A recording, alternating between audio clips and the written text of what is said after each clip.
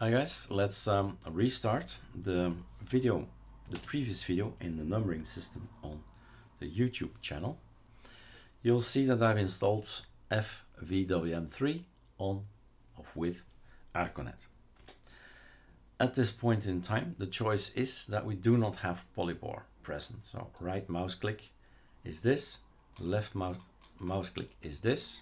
So we have already a menu that's available here so you can say, why do I need it? I don't really need it, right? There is all kind of things that are available, menus that are there. But if you'd like to have a bar, if you lost without the bar, right?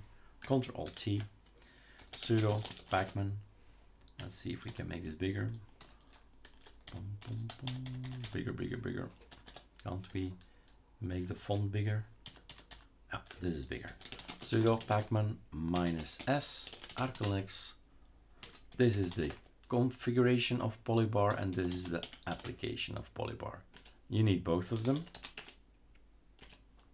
Install it, skel it. Skel means copy paste everything over from A to B.